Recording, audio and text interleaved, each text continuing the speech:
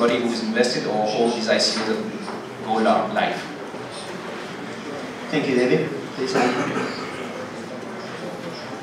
Oh, uh, just just to, um, for the panelists, if you feel more comfortable speaking in Russian or in English, please feel free to do so. Добрый вечер, меня зовут Андрей Малов, я представляю компанию Mellochain. Мы в ближайшее время собираемся выходить на ICO. Фактически я представляю крупный бизнес.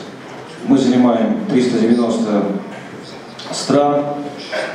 Наш продукт – это онлайн-кинотеатр, онлайн-кинотеатр ТВ и Рускино, известный во всем мире. Соответственно, дальше расскажу подробнее о трендах.